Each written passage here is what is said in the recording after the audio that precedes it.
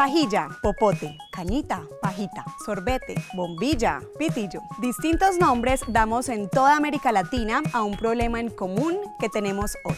Todos los días se usan 500 millones de pitillos en el mundo. De hecho, cada uno de nosotros usa 38 mil pitillos en toda su vida.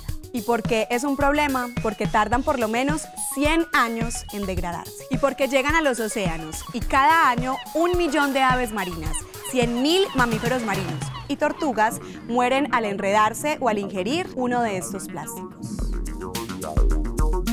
Te sorprenderá saber que cada año van a dar al mar unos 20 millones de toneladas de plástico. Así que cuando te ofrezcan en un restaurante o lugar de comidas el famoso pitillo, piensa en las gaviotas, tortugas, delfines y ecosistemas marinos que puedes ayudar a salvar.